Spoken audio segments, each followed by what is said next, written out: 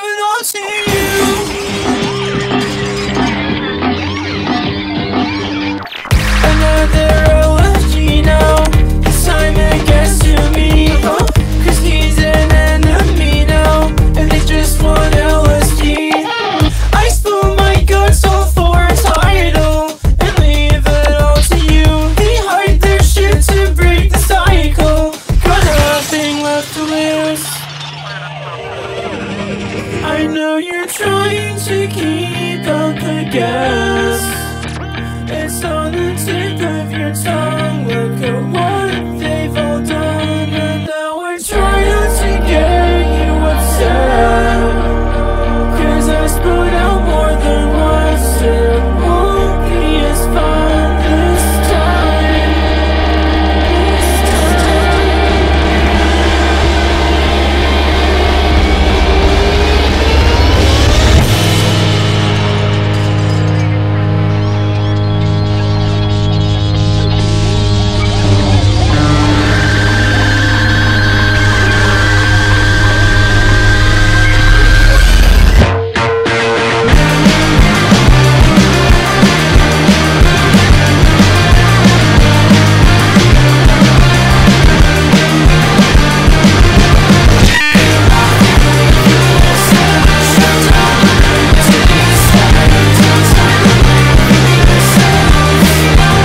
Sticky